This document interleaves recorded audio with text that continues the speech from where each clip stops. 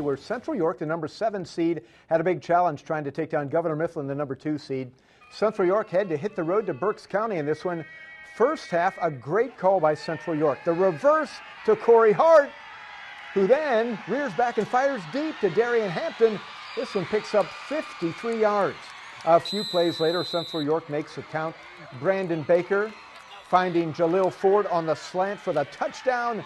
The Panthers upset Governor Mifflin 27 21. Central York will now take on Central Dauphin next week in the semi.